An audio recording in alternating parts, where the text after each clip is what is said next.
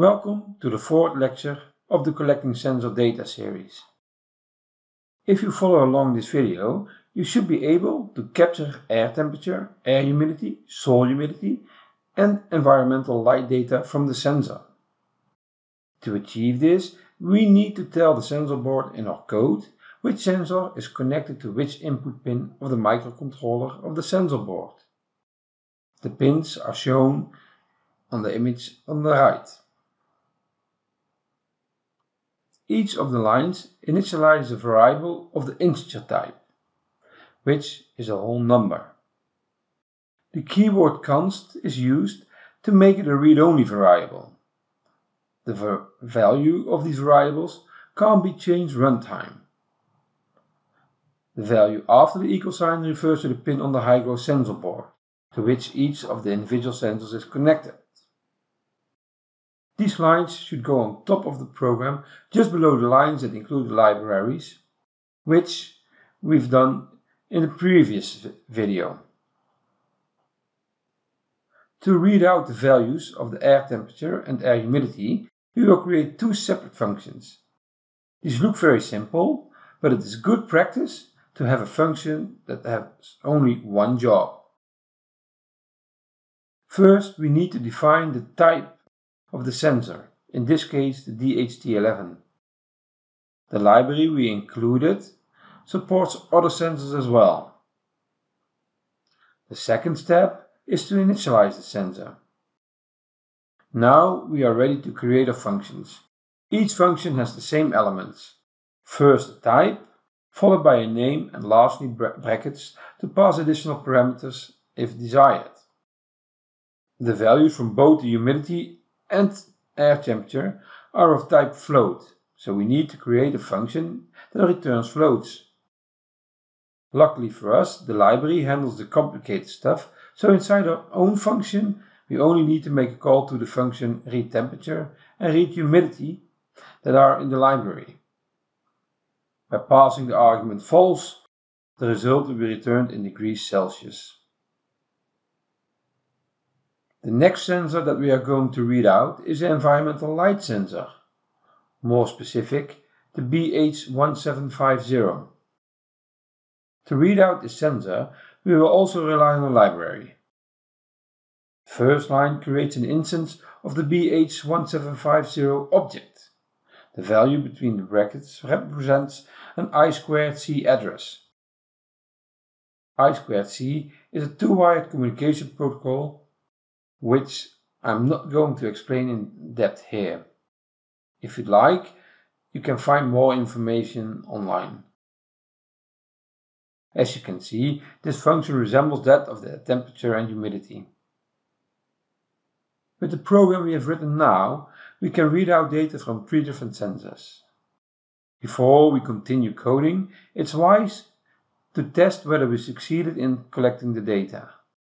So let's see what we need to add to our program to run some tests. The first thing we need to do is make some adjustments to the predefined function setup. I always like to put the call to the serial.begin function on top inside the setup function. This function call will start serial communication between the connected embedded device and the computer. The value of the parameter between the brackets represents the baud rate, in other words, how fast communication is going.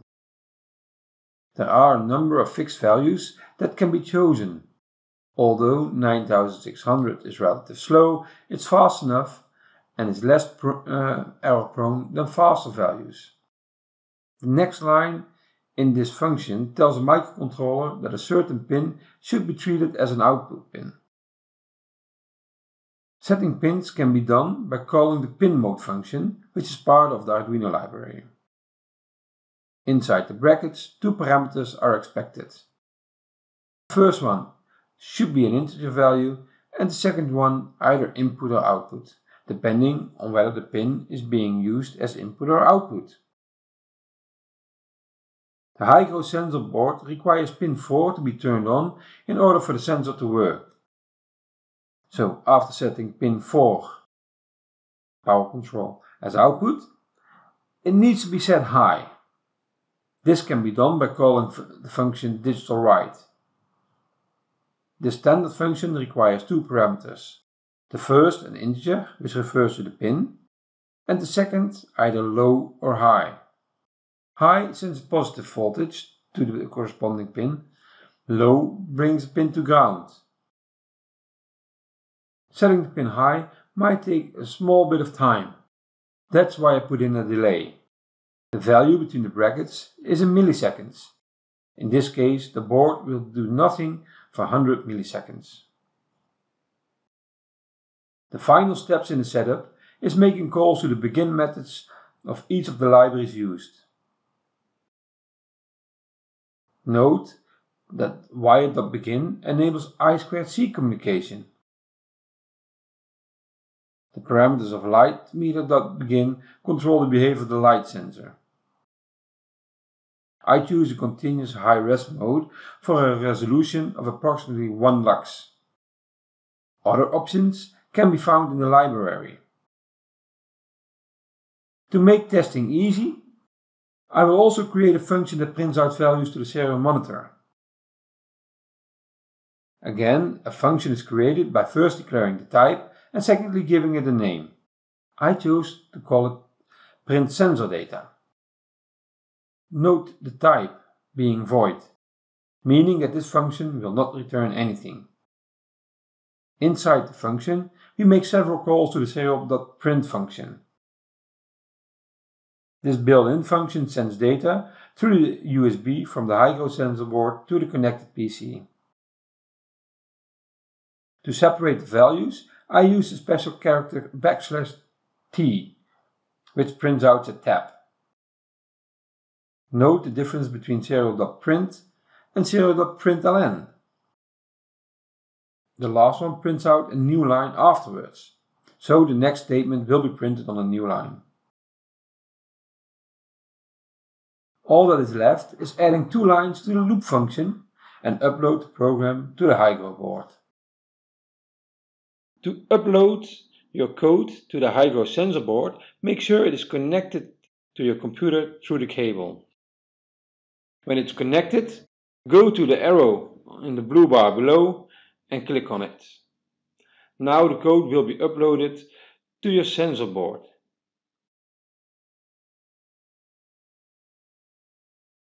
When this is done, you can click on the plug icon in the same blue bar to open the serial monitor. Here you can see the values you get from the sensors.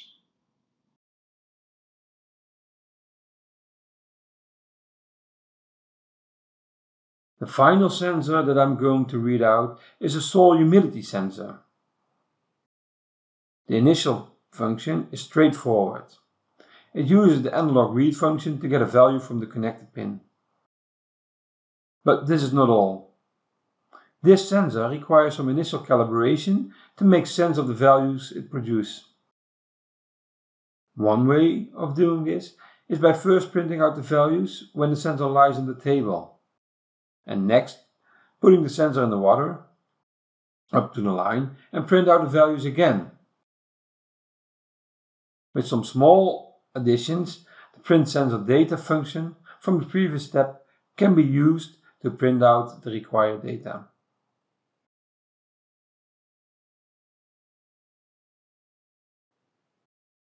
Now the minimum and the maximum values for the sensor are known, we have to adjust the getSol function.